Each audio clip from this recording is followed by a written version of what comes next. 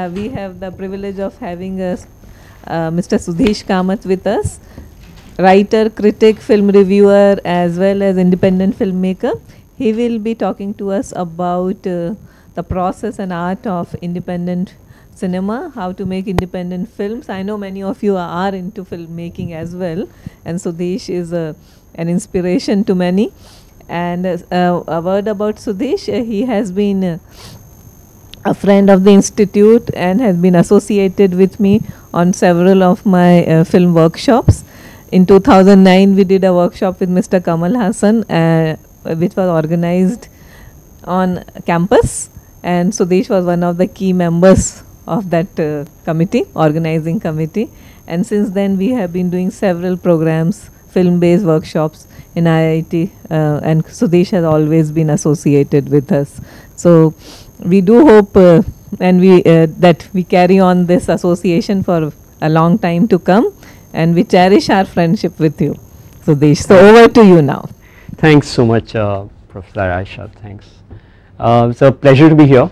What I'm going to try and do is take you guys through the journey of um, how we made the film um, as, as an example of how to make a film or how not to make a film. Okay.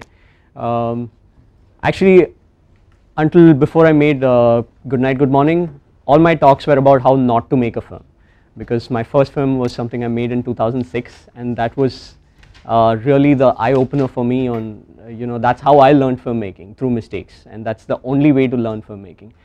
If you made a hundred mistakes you've learned a hundred lessons.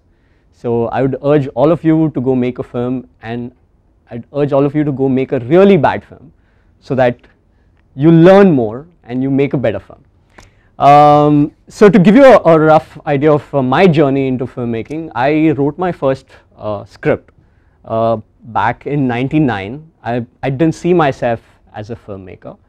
Um, I had just joined the Hindu and I was catching up with a bunch of uh, old friends from school and we just looked back at our lives and saw how our lives had totally changed from what we had planned it to be and uh, what we had become. So it seemed like a movie by itself, you know, because this is what we wanted to do and here we are.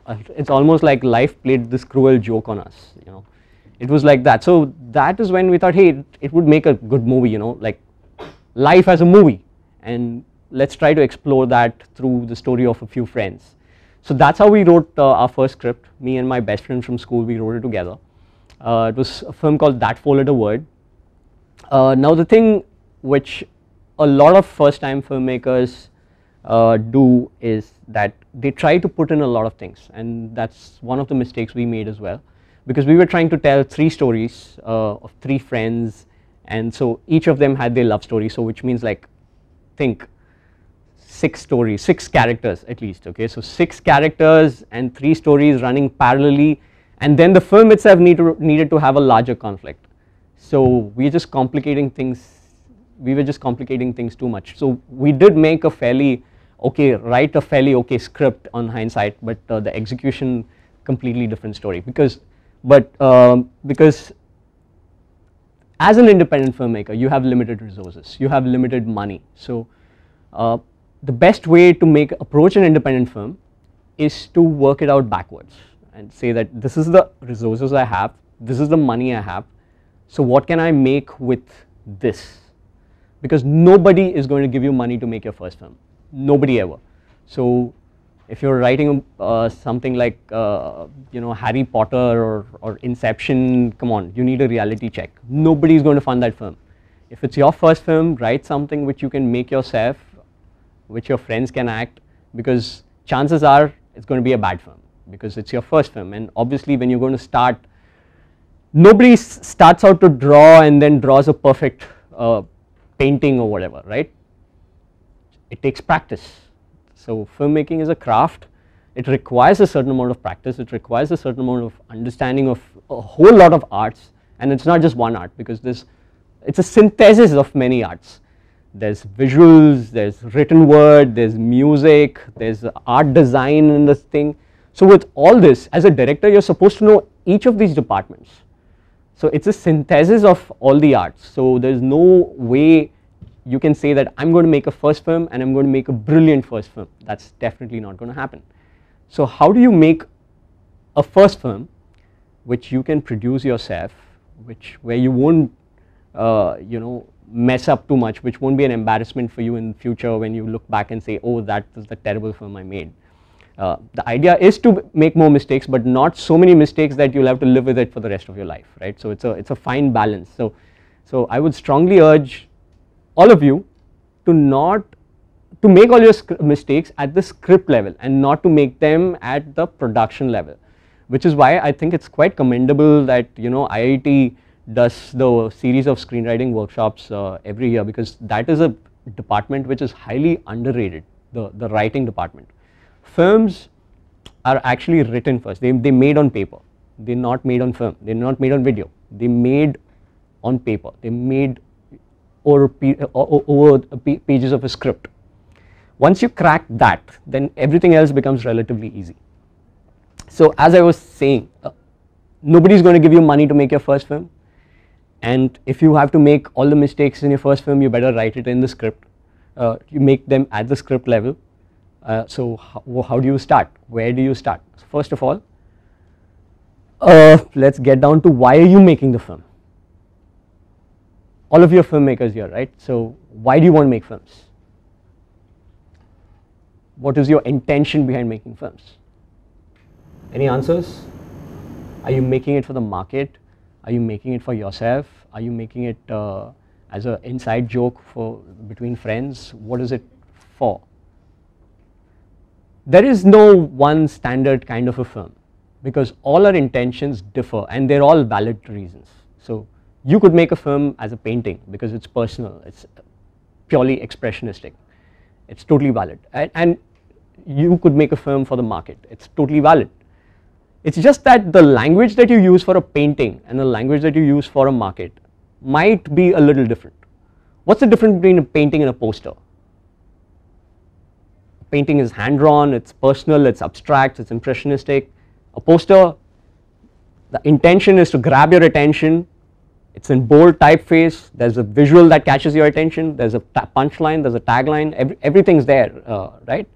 Um, so the design of the film has everything to do with your intention of making that film. If you're making it for yourself, you don't have to care about the market.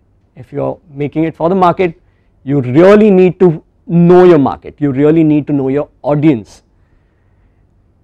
You when you how many of you are Tamil speakers here? how how do the rest of you commute uh, when you're going by auto rickshaw? How do you talk? Yeah, okay. So basically, you know that much Tamil. Exactly, that's the point because when you're talking to an auto driver you have to talk to him in, in, in, a certain language. Otherwise he's going to take you for a ride. He's going to think that okay this girl's come from the US we can charge a dollar rate you know? So because English when you speak in English the auto driver's response is very different from how you talk to him in the local language. And that has everything to do with uh, films. When you are making a mainstream film when you are trying to communicate with a larger audience you need to talk to them in a language which they relate to in a language that emotionally appeals to them in a in a way that gets their attention in a way that it communicates to them on what exactly are you trying to do. How far do you want to take them or how far do you want them to go? So intention has everything to do with the design of your film as an independent filmmaker, let us bring the economics into it now. You know very well that uh, you are not, it is very unlikely that you are going to get a big enough release because let us face it the marketing reality today is that if you do not have a minimum of 5 to 6 crores you can't even get a film released because the publicity budgets alone are 5 to 6 crores. I am not talking about production budget. In fact, the, the projection budget as in the, the costs it how much it would cost you to project your film itself costs something like 1000 rupees per screening which means that you need 7000 rupees for 7 shows to just show your film you know. And to collect the 1000 rupees per screening how many people should buy your tickets? You know you need at least 20 people to come and watch your film. Independent films don't get more than 10 to 15 people walking in. So independent films in India today rarely even break even the projection cost. Forget the marketing, forget the production. So as a filmmaker, if you're going to make your first film, what does that tell you? Do you want to make a film for the market? Obviously not because it's never going to get out there. So what do you make it for? You make it for yourself. You make, you make it the most honest film that you can make.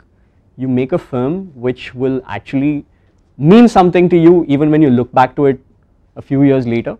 Because there are so many stories you can tell. Why are you wasting all your energy on this story? Why does it mean so much to you? I think that's one thing which a lot of us don't think about. We just invest on ideas just because it occurred to us. An idea occurring to you is just an accident. You shouldn't read too much into it. You should, it's, it's, it's like this girl you probably said hi to and you got attracted to and then went home and then you kept thinking about her. Now if you're going to keep thinking about the same girl, nothing's ever going to happen.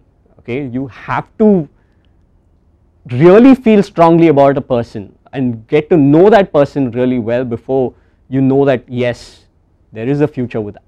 It's exactly the same thing with a script. You need to be able to know why is this film important? Why should I do this film? That film should mean it should come from a deeply personal place for you to invest in that idea and do it. So having covered intention, I have to talk about the again uh, economics. So having since economics have everything to do with uh, your actual production, don't write anything you can't make yourself, which means restrict the number of locations, restrict the number of uh, characters because even from a writing point of view, it's much simpler to deal with fewer characters and focus on them when you're starting out rather than you know say that okay I'm because I've seen it as uh, when I wrote that four letter word uh, about what, 13 14 years ago I thought I was being unique telling a story of friends. And in the last decade I've seen dozens of films made by first time filmmakers all about them and their friends.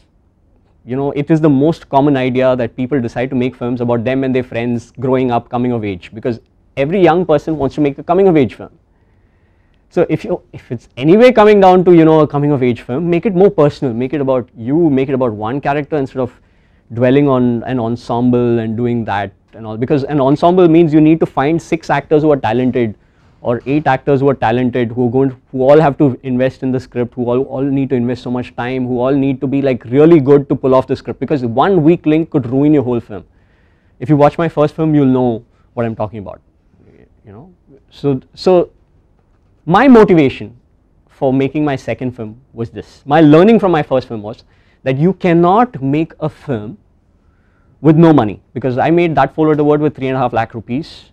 It had uh, a cast of about eight people or something like that. Uh, obviously, we were not able to get like good quality actors because we didn't have money to afford them. So we basically took actors from theatre and uh, what came naturally to me was English so I made it in English and my vision was to make an Indian English film that would work uh, you know pan India without it having a Madrasi tag or a or a Bombay North Indian tag or a or or or a Mallu tag or any of that. I didn't want race to get into this at all. It had to be because the minute you make a film set in Madras it's perceived as a Madrasi film you know in Bombay or anywhere else. Nobody else would watch it. So already you're making a niche film and then you're making a niche within that. So the idea was to make a pan India film without bothering about the specificity of a location and just speaking in English. Because all of us speak in English. And English is sort of our national language uh, we all communicate at least in the cities. It, we all speak in English. So the idea was to make an English film which, which works pan India but the learning for me from the film was that Indian actors are very self-conscious when they are uh, speaking in English in front of the camera. Not just actors, anyone. Uh, when you're talking with your friends, you would speak in a certain way, and the minute they put a camera in front of you, suddenly you get all conscious, and then your uh, your accent starts playing games with you. You know, it's so that happens a lot in Indian cinema. Tell me, how many Indian English films have you seen that are actually convincing, where you know it sounds like they are real people. There's always a certain amount of theatrical element to it. They're actually doing a stage play there. In front of the camera, they're actually doing theatrics, they're doing histrionics. you can see the level of acting. So you have actually created a barrier already. There's there's no so imagine an independent film, okay, which is usually shot on video. Um, what will, what is it going to look like? Now, for this we need to understand the differences between different kind of cameras. You know, we have a video camera. What are the different kinds of cameras? We have a video camera. We have a, a film camera. We have your iPhone camera. We have your and and I'm sure all of you have experienced a little bit of everything, right? You've shot videos with your iPhone or your mobile phone. You have shot videos with a handycam. You've shot uh, pro probably videos with a slightly more advanced camera once in a while, or at least seen, or and you've seen film and you've seen IMAX in the theaters. You know they all don't look the same, right? You know an IMAX screen looks like big. You know a film screen looks slightly smaller than that. You know a video screen looks smaller than that. You know a mobile phone looks smaller than that the frame as in what would fit into a frame. So an independent filmmaker is working with a small frame but in his head he thinks he is making a movie okay. So the language he is employing is probably theatrical but the visual or the frame that the human mind is used to is that of a home video because that is the frame. We have all seen home videos right, we have all seen home videos, we know what a home video frame is going to look like an independent filmmaker making a film with limited resources in realistic settings with realistic actors or actors that he can afford which are basically friends and family acting out exaggerated sequences in fake English is going to be terrible right. So you need to be conscious of what are you using you are using a video camera you are using a home video. So what makes home video home video any answers? It's uncut and there's one more thing that happens with home video. The camera just keeps going. It, it doesn't it doesn't stop. It doesn't like just because see that camera is like fixed. It's a tripod. It's fixed.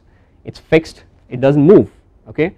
Now if you're going to look at it, it looks like a TV program because it's, it's fixed frame because in TV the frame doesn't move. It's still video. Frame doesn't move. It's TV.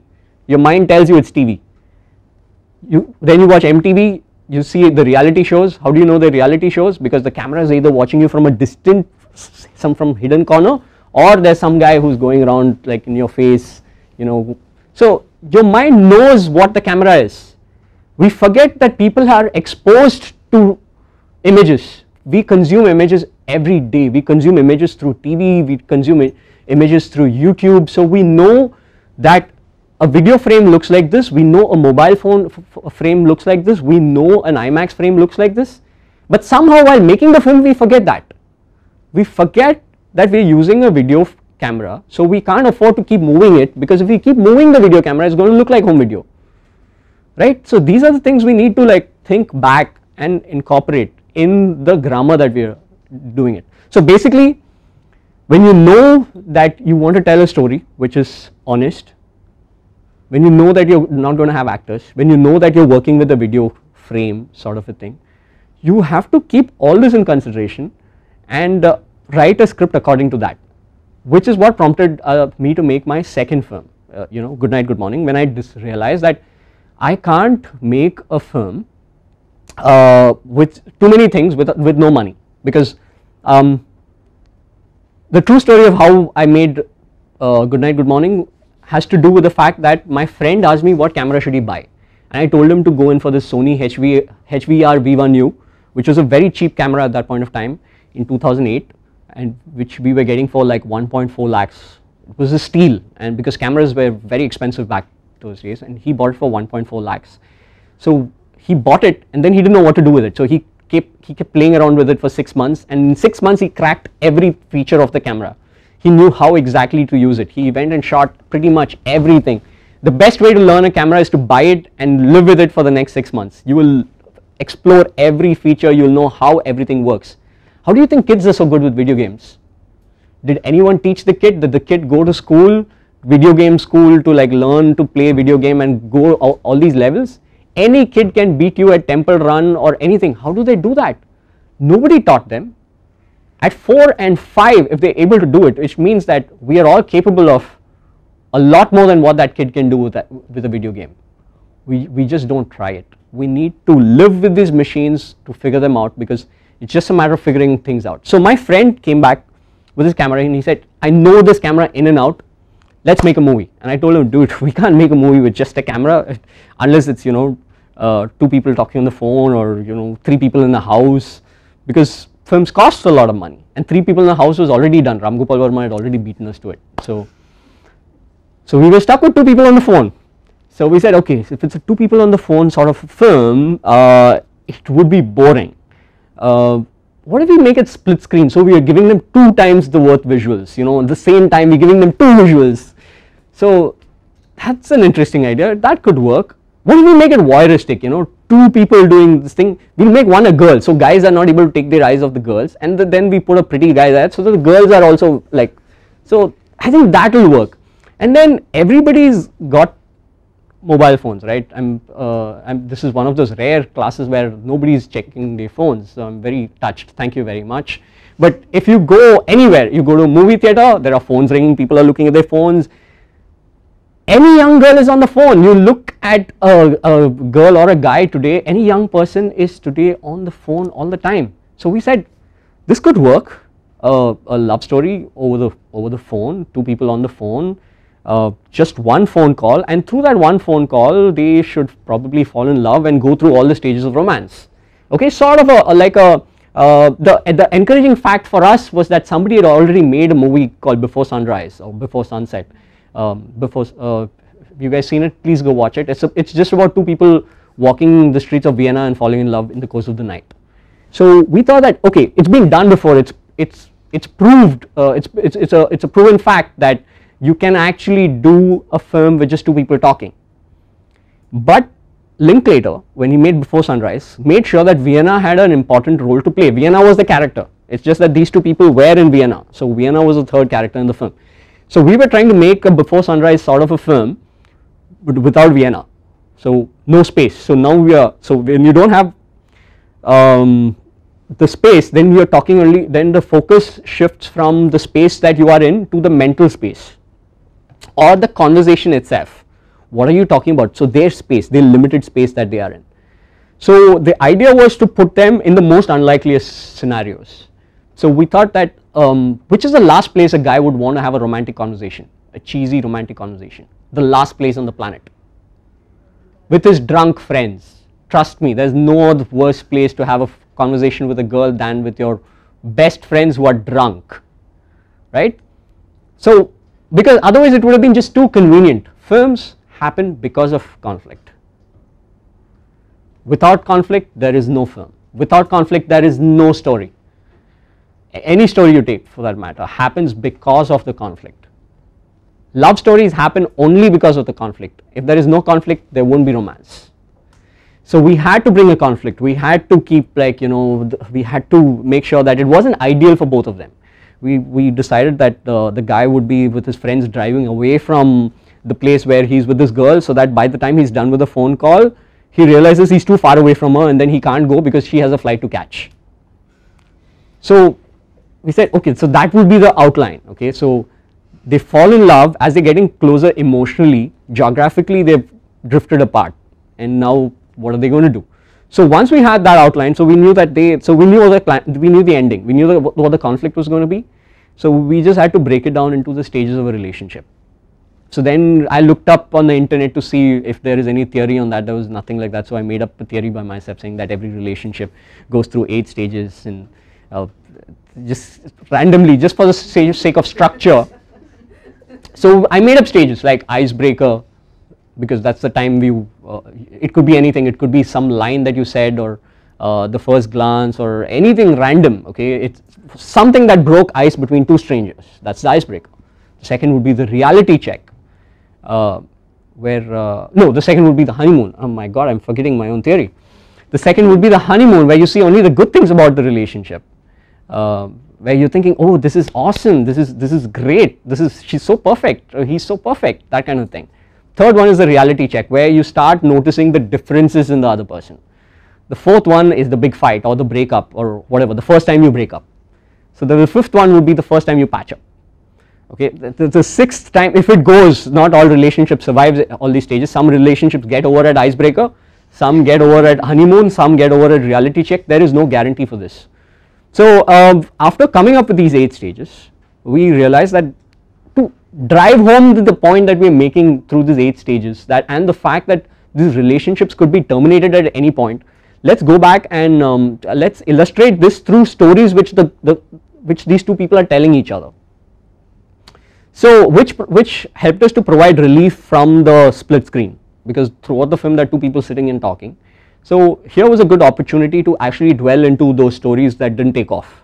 So one was uh, the uh, the reality check where you know the first story is styled as a sitcom where two people are talking on the phone um, until the girl meets the guy and he, she sees that this guy is a geek. He's been googling everything. He doesn't he doesn't know. He was just he just found out everything about me and he was googling everything and he was pretending like he knows me all uh, really well so that's a reality check so similarly again we we created another bollywood scenario to show that people might want different things after a level so you know we uh, we came up with four or five episodes that were sort of milestones in every relationship and we put them in to the film to drive home this point on what we were trying to do on what the film was trying to do. So um, we were able to make a film only because we worked with what we had. We knew we had a camera, we knew we knew we just needed two actors who were solid performers. We knew, knew that we needed a couple of other actors who, who are okay, who can just uh, pass off you know who wouldn't be who wouldn't have too much to do really. And even then it was quite a challenge for us because one of these guys had to go to the US and we had to like shoot all of uh, one half of the film in like two days. So it was things always go wrong. The Murphy's law is always working overtime when you're making an independent film. Now uh, so we made the film. We had written a different kind of an ending for it. We wanted the the two people to meet halfway. You know sort of a metaphorical thing that because for any relationship to work people need to meet each other halfway. So if uh, this girl is in New York and if the guy is in Philadelphia they have to meet halfway in this place called New Hope. That was the original climax right. So we and the only problem is that uh, the first time we shot the film we shot in New York with uh, uh with a different actress. I won't na name because we are it's being recorded. Um, it cost us a lot of money. We lost a lot of money because uh, this actress uh, did not want to work with the actor at that point of time after getting to New York. So and because I was making the movie from my own pocket I lost 13 lakhs.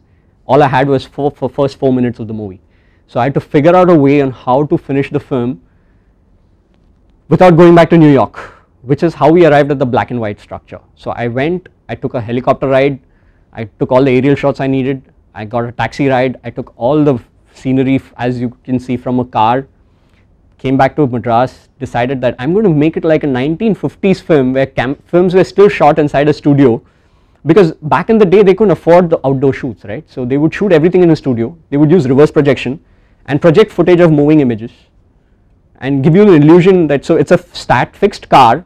So the car is these there are a bunch of people shaking the car.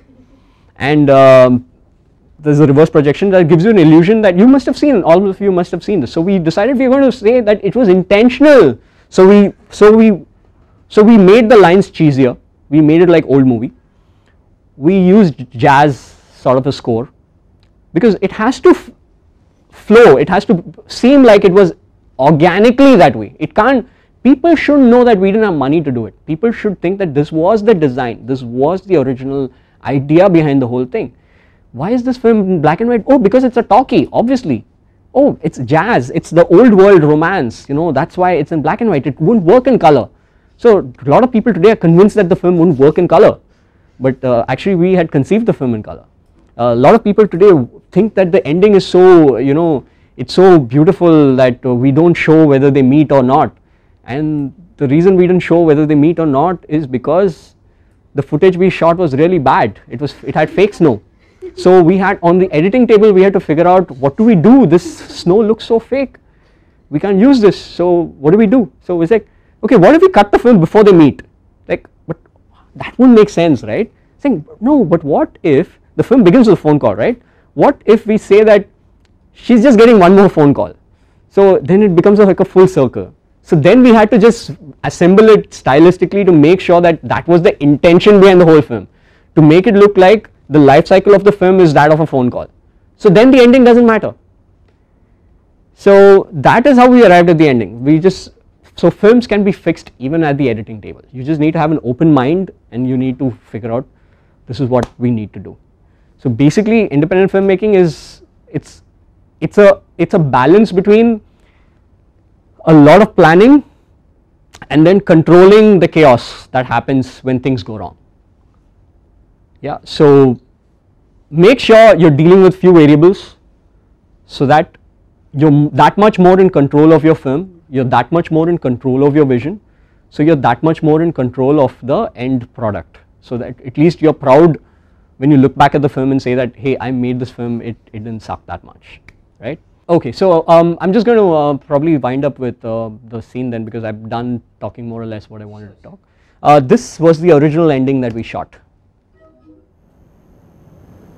Okay. Okay.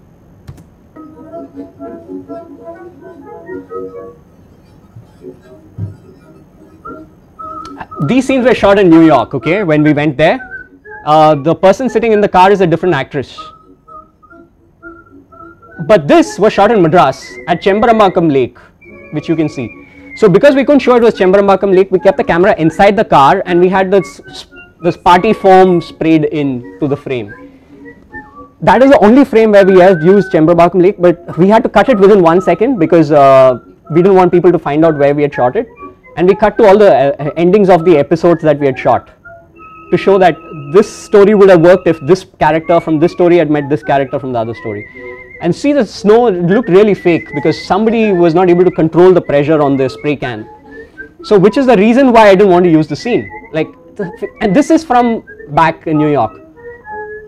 This is again part of footage which is shot in uh, India. It, it, was just this happy uh, kiss and ending. Okay, yeah. So that is how uh, because of that fake snow that you saw was the reason that I didn't want to use that ending because it seems so bad that Snow was really fake and it would just look low budget. When you're making a low budget film, you don't want people to know you're making a low budget film.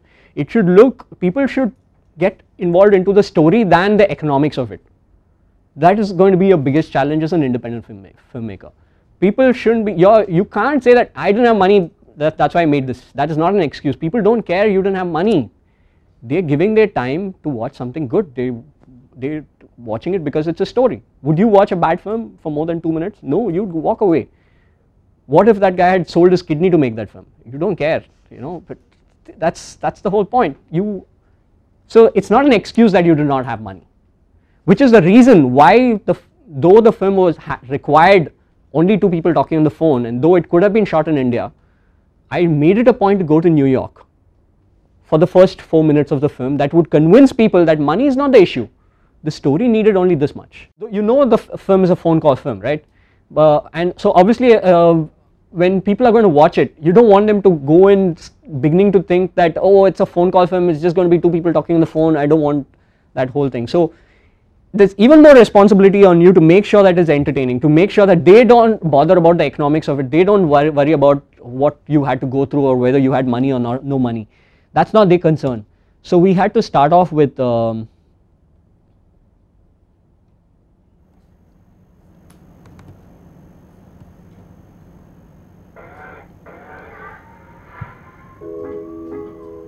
Oh no.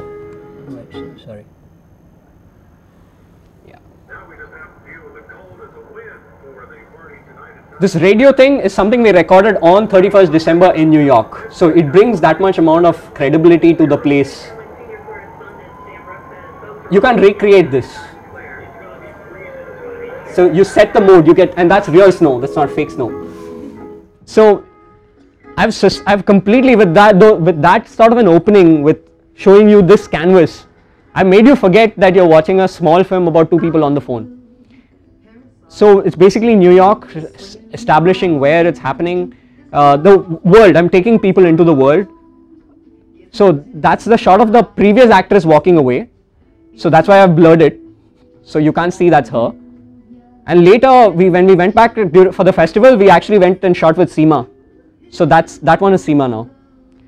So this is actual footage from New Year's Eve uh, in New York City. So this we shot when we went for our first festival screening. Seema walking into a pub in New York. She walked in and then walked out. That's what you don't see. This was actually pod in Chennai. And we had seven people there to make it look like New Year's party. So what do we do? We make it look like um, we are only focusing on real close-ups. So see there's like, you can see shadows of people behind but you can't see too much. We couldn't have it empty because it looked haunted. It's New Year's Eve. So we had to have some people like moving around. So we're intercutting between the outside space and the inside space. And see this frame is populated with people. So you so you're mentally thinking that obviously it's a pub. On New Year's Eve there's going to be like people sitting bunched together. So we're cutting back to her and so we use this lights to give it one more layer to so that I'm, so you're not paying attention to whether where we shot it.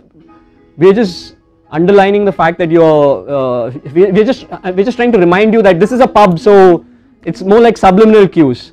This was shot against pure black and nothing else. That two second shot. This is shot outside the studio in Madras. So that's why the camera is like that. But when we cut it to that, it just seems like we shot that in New York as well. So that's where the film is supposed to take place, New Yorker. We follow this girl to the room. So she goes, so we follow her. This is again pod. But the thing is, I've taken you through the streets of New York, followed a girl and gone into a room. So now I don't have to show you the rest of New York because the script demands the, the film is set here. So the film doesn't require the outdoors anymore. So that's uh, one way we uh,